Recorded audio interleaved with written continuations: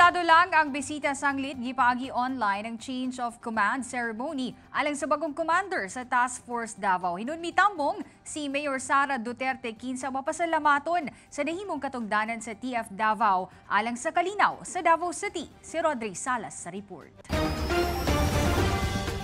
Simple ug pinasahi ang change of command ceremony sa Task Force Davao kagahapon. Sanglit, dili isama sa naandang change of command ceremony nga daghan ang imbitado. Kagahapon, maihap lang ang mga bisita tungod giagi kini online. Human sa duha ka tuig, tulo ka bulan og walo ka adlaw nga nanerbisyo isip Battalion Commander sa Task Force Davao, si Colonel Consilito Yakla.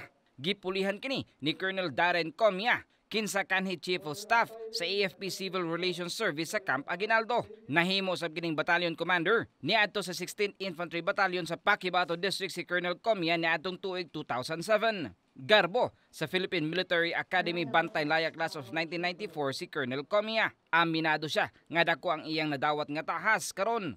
Busa hangyo niya sa mga dabuwenyo ang kooperasyon ug walay puas nga suporta sa mandato sa Task Force Davao batok sa terorismo ug insurhensiya.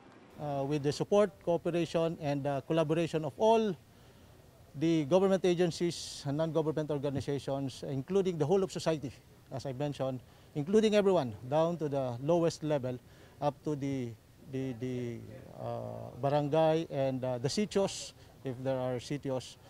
Uh, we will try to reach them out so that the culture of security will be inculcated more in the hearts and minds of uh, the Dabaweños.